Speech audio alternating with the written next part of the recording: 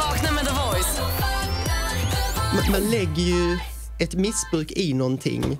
Däremot, jag, jag är väldigt så här att man inte kan klandra samhället för någonting. För att samhället, det är vi. Jag menar, så länge vi accepterar samhället så är, accepterar vi det. Däremot så tror jag att när man väl söker hjälp för en sjukdom så måste man få den. Eh, en ung grabb som kommer, jag, jag vet ett fall nu för bara några månader sedan om en grabb som kom in till akuten. De undersökte honom för allting, föräldrarna sa han äter ingenting och de bara liksom, ja jo, men vi måste komma på orsaken till detta. Orsaken var ätstörningar. Eh, och idag får han då hjälp, men det tog en otroligt lång tid. Och man måste vara mer lyhörd där. Man måste ge dem hjälp direkt. Du, man pratar mycket om att så här, äh, modeller och eh, skyltdockor. Bilder på snygga kroppar överallt. Är det, triggar det igång saker hos en person som har ätstörningar? Man skyller ofta på att det är idealen som är osunda. Ja, nej. Jag vet inte vad jag ska svara på det där. Jag, jag, jag tycker om att kolla på, på snygga plankor, höll jag på att säga. Däremot så måste man veta att det inte är sanning. Jag menar en smal tjej på en plank och en grabb med rutor på magen. Det är ju inte the real life. Gemene man. Nej, ja, Nej. det är fixat med datorer och sådär. Jag kommer till föreläsa lite nu på grund av boken för skolungdomar och då kommer vi att prata om det här med självkänsla, självförtroende och hur reklam påverkar oss.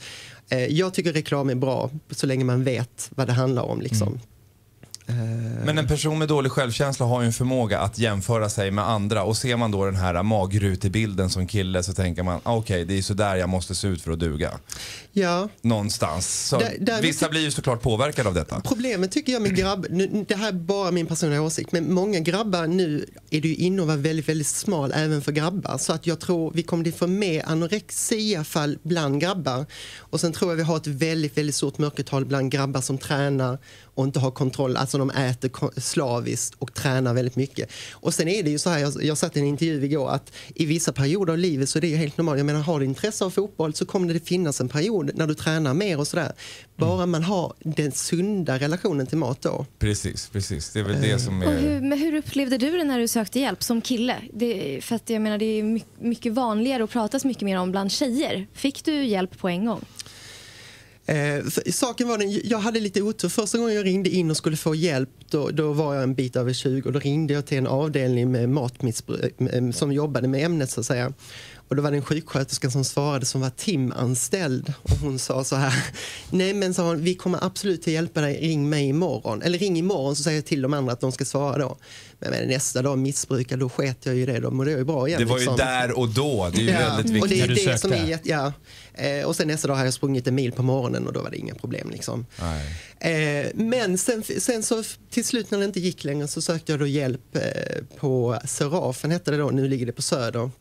Eh, och då bad de mig fixa en remiss ifrån en allmänpraktiserande läkare för att det skulle gå snabbare.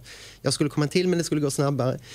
Eh, och den läkaren var väldigt, väldigt, eh, alltså han, det var inget fel på honom men han hade ingen kunskap i ämnet. Han, det första tittade han på mig och sa, ja men du är inte speciellt smal. Eh, till en bulimiker. Ja. och, och sen så sa han, kan du ta av dig kläderna ska jag lyssna på ditt hjärta. Och så var dörren öppen till väntrummet och det satt helt fullt med folk.